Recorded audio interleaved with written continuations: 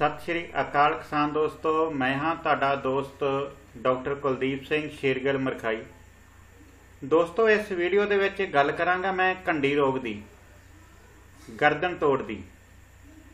ਦੋਸਤੋ, ਇਹ ਇੱਕ ਤਰ੍ਹਾਂ ਦਾ ਬਲਾਸਟ ਹੈ, ਜਿਹਨੂੰ ਅਸੀਂ ਪੰਜਾਬੀ ਦੇ ਵਿੱਚ ਭਰੋੜ ਰੋਗ ਕਹਿੰਦੇ ਆ ਇਹ ਇੱਕ ਉੱਲੀ ਤੋਂ ਫੈਲਦਾ ਹੈ, ਜਿਹਦਾ ਨਾਮ ਹੈ ਪਾਇਰੇਕੁਲੇਰੀਆ ਓਰਾਈਜ਼ੀ ਤੇ ਅਸਲ ਦੇ ਵਿੱਚ ਭਰੋੜ ਰੋਗ ਚਾਰ ਤਰ੍ਹਾਂ ਦਾ ਹੁੰਦਾ ਦੋਸਤੋ।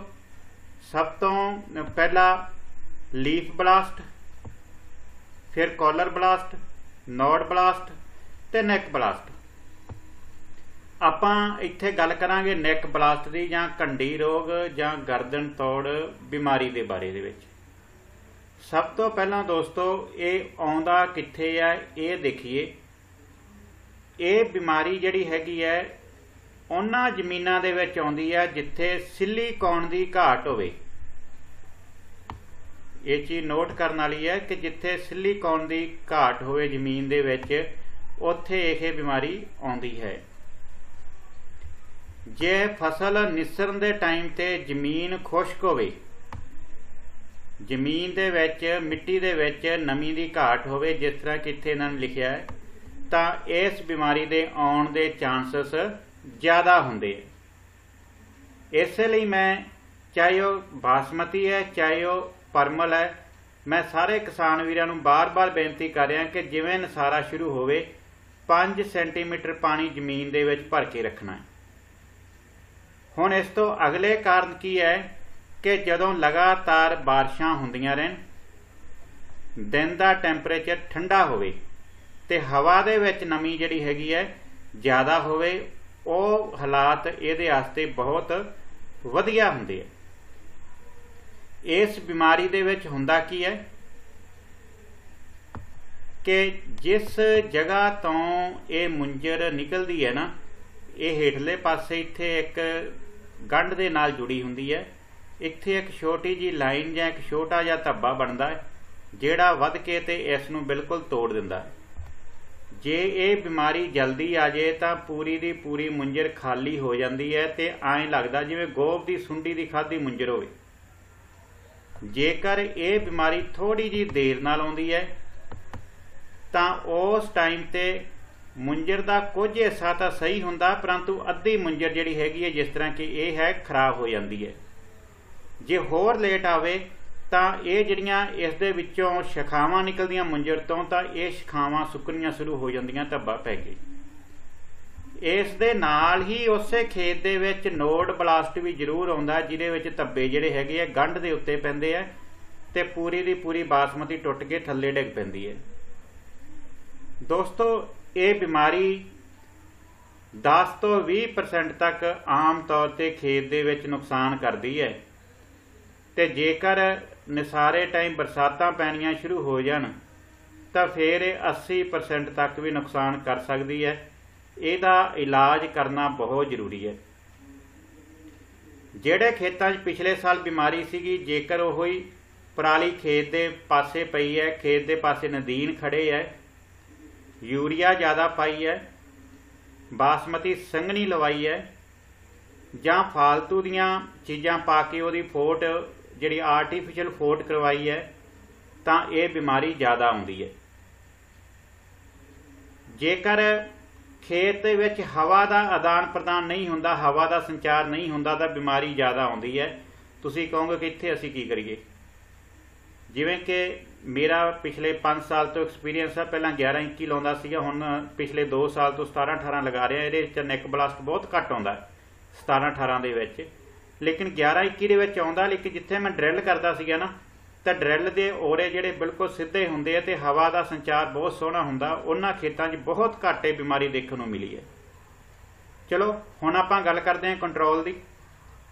ਸਭ ਤੋਂ ਪਹਿਲੀ ਗੱਲ ਤਾਂ ਇਹ ਹੈਗੀ ਹੈ ਕਿ ਖੇਤ ਦੇ ਵਿੱਚ ਜਿਵੇਂ ਹੀ ਨਿਸਰਨਾ ਸ਼ੁਰੂ ਹੋ ਜਾਏ, ਪਾਣੀ ਜ਼ਰੂਰ ਭਰ ਕੇ ਰੱਖਣਾ 5 ਸੈਂਟੀਮੀਟਰ। ਵੱਡੀ ਧਿਆਨ ਰੱਖਣ ਵਾਲੀ ਗੱਲ ਇਹ ਹੈਗੀ ਹੈ ਕਿ ਬਿਮਾਰੀ ਆਉਣ ਤੋਂ ਬਾਅਦ ਇਹਦਾ ਕੋਈ ਇਲਾਜ ਨਹੀਂਗਾ ਜੀ।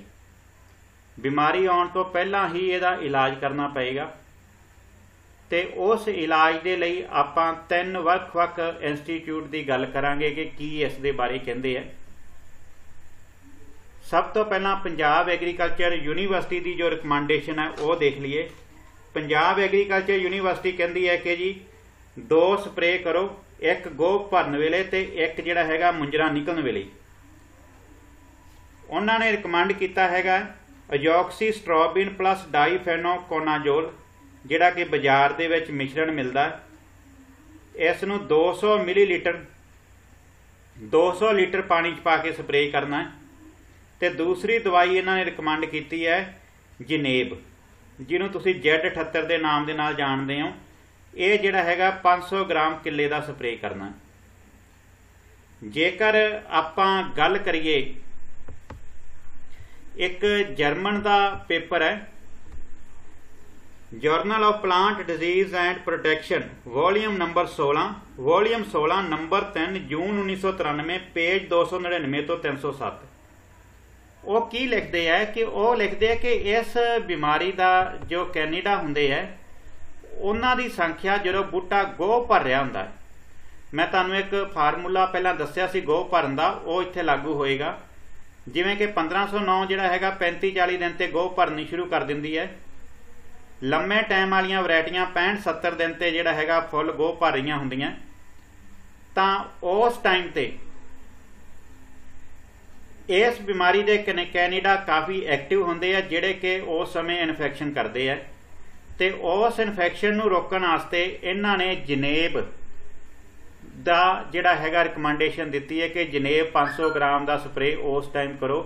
ਆਮ ਬਾਸਮਤੀਆਂ ਜਿਹੜੀਆਂ ਹੈਗੀਆਂ, ਜਦੋਂ 65 70 ਦਿਨ ਦੀਆਂ ਹੁੰਦੀਆਂ ਤੇ ਜਿਹੜੀਆਂ ਸ਼ਾਰਟ ਡਿਊਰੇਸ਼ਨ ਵੈਰਾਈਟੀ ਹੁੰਦੀਆਂ, ਉਹ 35 ਤੋਂ 40 ਦਿਨ ਜਾਂ 45 ਦਿਨ ਦੀਆਂ ਹੈ, ਤਾਂ ਉਸ ਟਾਈਮ ਤੇ ਸਪਰੇ ਕੀਤੀ ਜਾਣੀ ਚਾਹੀਦੀ ਹੈ ਖੇਤ ਦੇ ਵਿੱਚ। ਦੂਸਰੀ ਗੱਲ ਉਹਨਾਂ ਨੇ ਕਿਹਾ ਕਿ ਹੈਗਜ਼ਾਕੋਨਾਜੋਲ ਇਸ ਨੂੰ ਕੋਈ ਜ਼ਿਆਦਾ ਕੰਟਰੋਲ ਨਹੀਂ ਕਰਦੀ। ਜਿਵੇਂ ਕਿ ਕਿਸਾਨ ਵੀਰੋ, ਮੈਂ ਤੁਹਾਨੂੰ ਬਾਸਮਤੀ ਵਾਲੇ ਕਿਸਾਨ ਵੀਰਾਂ ਨੂੰ ਸ਼ੁਰੂ ਤੋਂ ਹੀ ਜਨੇਬ ਪਲੱਸ ਹੈਗਜ਼ਾਕੋਨਾਜੋਲ ਸਪਰੇਅ ਕਰਨ ਲਈ ਕਹਿ ਰਿਹਾ ਤਾਂ ਉਹ ਸਪਰੇਅ ਜਿਹੜੀ ਤੁਸੀਂ 65 ਤੋਂ 70 ਦਿਨ ਤੇ ਕਰ ਰਹੇ ਹੋ, ਉਹ ਇਸ ਬਿਮਾਰੀ ਨੂੰ ਰੋਕਣ ਦੇ ਵਿੱਚ ਸਹਾਈ ਹੋਏਗੀ। ਦੂਸਰੀ ਸਪਰੇਅ ਜਿਹੜੀ ਹੈਗੀ ਹੈ, ਪੰਜਾਬ ਐਗਰੀਕਲਚਰ ਯੂਨੀਵਰਸਿਟੀ ਦੇ ਅਨੁਸਾਰ ਆਪਾਂ ਯੋਕਸੀ ਯੋਕਸੀਸਟ੍ਰੋਬਿਨ ਪਲੱਸ ਡਾਈਫੈਨੋਕੋਨਾਜੋਲ ਇਹਦੀ ਸਪਰੇਅ ਕਰਾਂਗੇ, ਜਿਸ ਸਮੇਂ ਮੁੰਜਰਾ ਨਿਕਲਣੀਆਂ ਸ਼ੁਰੂ ਹੋਣਗੀਆਂ ਤਾਂ ਇਸ ਬਿਮਾਰੀ ਤੇ ਕਾਫੀ ਹੱਦ ਤੱਕ ਕੰਟਰੋਲ ਕੀਤਾ ਜਾ ਸਕਦਾ ਹੈ। ਦੋਸਤੋ, ਤੀਸਰਾ ਇਹ ਇੱਕ journal of pharmacognosy and phytochemistry ਹੈ, ਜਿਹੜਾ ਕਿ ਇਹਦੇ ਵਿੱਚ ਇੱਕ ਰਿਸਰਚ ਹੈ ਜਿਹੜੀ ਕਿ ਐਕਸੈਪਟ ਕੀਤੀ ਗਈ ਹੈ 22 2 2018 ਨੂੰ। ਇਸ ਦੇ ਵਿੱਚ ਇਹਨਾਂ ਨੇ ਨੈਕ ਬਲਾਸਟ ਦੇ ਲਈ ਇੱਕ ਦਵਾਈ ਦੀ ਰეკਮੈਂਡੇਸ਼ਨ ਕੀਤੀ ਹੈ, ਉਹ ਹੈਗੀ ਹੈ ਟੈਬੂਕੋਨਾਜੋਲ ਪਲੱਸ ਟ੍ਰਾਈਫਲੋਕਸਾਸਟ੍ਰੋਬਿਨ 200 ml ਜਾਂ ਇਹਨਾਂ ਨੇ ਲਿਖਿਆ ਕਿ 1 ਗ੍ਰਾਮ ਪਰ ਲੀਟਰ ਦੇ ਹਿਸਾਬ ਦੇ ਨਾਲ ਇਹਨੂੰ ਖੇਤ ਦੇ ਵਿੱਚ ਆਪਾਂ ਸਪਰੇਅ ਕਰਨਾ ਇਹਦੇ ਨਾਲ ਇਹ ਬਿਮਾਰੀ ਜਿਹੜੀ ਹੈਗੀ ਹੈ ਕਾਫੀ ਹੱਦ ਤੱਕ ਕੰਟਰੋਲ ਹੋ ਜਾਂਦੀ ਹੈ ਦੋਸਤੋ 100% ਕੰਟਰੋਲ ਤੁਹਾਨੂੰ ਕਿਸੇ ਮੈਥਡ ਨੇ ਨਹੀਂ ਦੇਣਾ ਕੁਝ ਪਰਸੈਂਟ ਇਨਸੀਡੈਂਸ ਹੋਣਗੇ ਪਰੰਤੂ ਜਿਹੜਾ ਹੈਗਾ ਇਸ ਨੂੰ ਜਿਹੜਾ ਹੈਗਾ ਕਾਫੀ ਹੱਦ ਤੱਕ ਆਪਾਂ ਖੇਤਾਂ ਦੇ ਵਿੱਚ ਕੰਟਰੋਲ ਕਰ ਸਕਦੇ ਹਾਂ ਜੇਕਰ ਹੁਣ ਆਪਾਂ ਹੋਰ ਧਿਆਨ ਰੱਖਣ ਵਾਲੀਆਂ ਗੱਲਾਂ ਦੀ ਇਸ ਦੇ ਨਾਲ ਗੱਲ ਕਰੀਏ, ਕਿ ਮੈਂ ਸ਼ੁਰੂ ਦੇ ਵਿੱਚ ਇੱਕ ਸ਼ਬਦ ਕਿਹਾ ਸੀਗਾ ਕਿ ਸਿਲੀਕਨ ਦੇਖੋ ਜੀ ਇੰਟਰਨੈਸ਼ਨਲ ਰਾਈਸ ਰਿਸਰਚ ਇੰਸਟੀਚਿਊਟ ਕੀ ਕਹਿੰਦਾ ਹੈ ਕਿ ਜਿਹੜੀਆਂ ਜ਼ਮੀਨਾਂ ਦੇ ਵਿੱਚ ਸਿਲੀਕਨ ਦੀ ਘਾਟ ਹੁੰਦੀ ਹੈ, ਉਹਨਾਂ ਜ਼ਮੀਨਾਂ ਦੇ ਵਿੱਚ ਵੀ ਇਹ ਬਿਮਾਰੀ ਆਉਂਦੀ ਹੈ। ਦੋਸਤੋ ਸਿਲੀਕਨ ਦੇ ਲਈ ਸਭ ਤੋਂ ਸੌਖਾ ਤੇ ਸਸਤਾ ਸਾਧਨ ਹੈਗਾ ਸਾਡੀ ਪਰਾਲੀ। ਜੋ ਬਾਜ਼ਾਰ ਦੇ ਵਿੱਚ ਸਿਲੀਕਨ ਫਰਟੀਲਾਈਜ਼ਰ ਮਿਲਦੇ ਆ, ਮੈਂ ਦੋਸਤਾਂ ਨੂੰ ਬੇਨਤੀ ਕਰਾਂਗਾ ਕਿ ਸਿਲੀਕਨ ਮੋਬਿਲਾਈਜ਼ਿੰਗ ਕੁਝ ਬੈਕਟੀਰੀਆ ਹੀ ਬਾਜ਼ਾਰ 'ਚ ਮਿਲਦੇ ਆ, ਮੈਂ ਉਹਨਾਂ ਦੀ ਗੱਲ ਨਹੀਂ ਕਰ ਰਿਹਾ। ਇਹ ਗੱਲ ਕਰ ਰਿਹਾ ਕੈਲਸ਼ੀਅਮ ਸਿਲੀਕੇਟ ਦੀ, ਜੋ ਕਿ ਬਹੁਤ ਮਹਿੰਗਾ ਹੈ ਤੇ ਖੇਤ ਦੇ ਵਿੱਚ ਪਾਉਣਾ ਪੋਸੀਬਲ ਨਹੀਂ ਹੈਗਾ। ਤਾਂ ਜਿਹੜਾ ਸਾਡਾ ਝੋਨੇ ਦੀ ਪਰਾਲੀ ਹੁੰਦੀ ਹੈ, ਉਹਦੇ ਵਿੱਚ ਸਿਲੀਕਨ ਦੀ ਮਾਤਰਾ ਕਾਫੀ ਜ਼ਿਆਦਾ ਹੁੰਦੀ ਹੈ, ਜਿਹਨੂੰ ਅਸੀਂ ਅਕਸਰ ਅੱਗ ਲਾ ਕੇ ਸਾੜ ਦਿੰਨੇ ਆ ਜੇ ਉਸ ਨੂੰ ਖੇਤ ਦੇ ਵਿੱਚ ਹੀ ਵਾਇਆ ਜਾਵੇ, ਖੇਤ ਦੇ ਵਿੱਚ ਹੀ ਮੈਨੇਜਮੈਂਟ ਕੀਤੀ ਜਾਵੇ ਤਾਂ ਇਸ ਬਿਮਾਰੀ ਤੋਂ ਕਾਫੀ ਹੱਦ ਤੱਕ ਬਚਾਅ ਕੀਤਾ ਜਾ ਸਕਦਾ ਹੈ। ਤੇ ਕੌਣ ਦੇ ਲਈ ਇੱਕ ਚੀਜ਼ ਦਾ ਧਿਆਨ ਰੱਖਣਾ ਕਿ ਜਿਸ ਖੇਤ ਦੇ ਵਿੱਚ ਪਿਛਲੇ ਸਾਲ ਇਹ ਬਿਮਾਰੀ ਆਈ ਸੀ, ਉਹ ਪਰਾਲੀ ਖੇਤ ਦੇ ਵਿੱਚ ਨਾ ਰੱਖੋ। ਉਸ ਪਰਾਲੀ ਨੂੰ ਖੇਤ ਤੋਂ ਬਾਹਰ ਕੱਢੋ, ਉਹਨੂੰ ਡਿਸਪੋਜ਼ ਆਫ ਕਰੋ।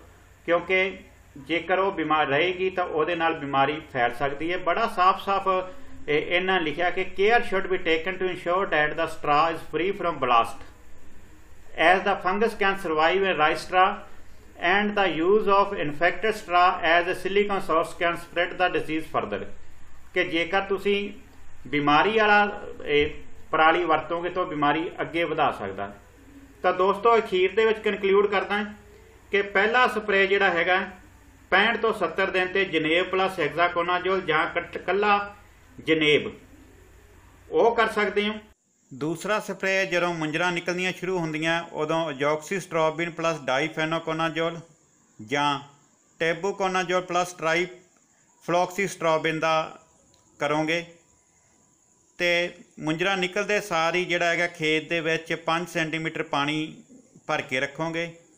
ਬਿਮਾਰੀ ਆਉਣ ਤੋਂ ਪਹਿਲਾਂ ਹੀ ਇਹਦਾ ਕੰਟਰੋਲ ਹੋ ਸਕਦਾ ਹੈ। ਬਿਮਾਰੀ ਆਉਣ ਤੋਂ ਬਾਅਦ ਦੇ ਵਿੱਚ ਇਹਦੇ ਵਾਸਤੇ ਸਪਰੇਆਂ ਛਿ- ਛਿੜਕਣ ਦਾ ਕੋਈ ਬਹੁਤਾ ਲਾਭ ਨਹੀਂ ਮਿਲਦਾ। ਉਮੀਦ ਹੈ ਦੋਸਤੋ ਵੀਡੀਓ ਚੰਗੀ ਲੱਗੀ ਹੋਏਗੀ। ਬਹੁਤ ਬਹੁਤ ਧੰਨਵਾਦ। ਮਿਹਰਬਾਨੀ ਦੋਸਤੋ।